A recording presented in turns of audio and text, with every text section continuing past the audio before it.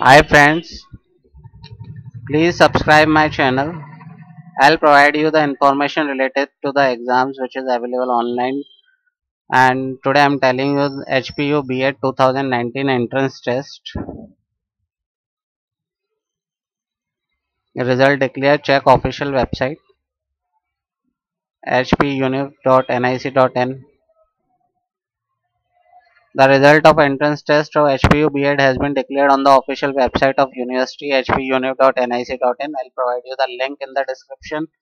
Candidates have appeared for the exam and all of them have been waiting for the declaration of the result. Now the result has been declared on the official website and the candidates can check it in the online mode only.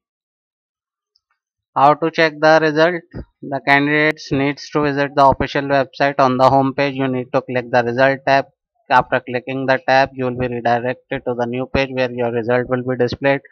Candidates needs to find their roll number and name to view the marks.